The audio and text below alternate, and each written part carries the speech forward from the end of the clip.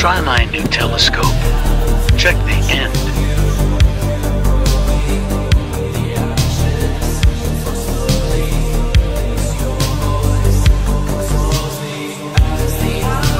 Ha ha ha.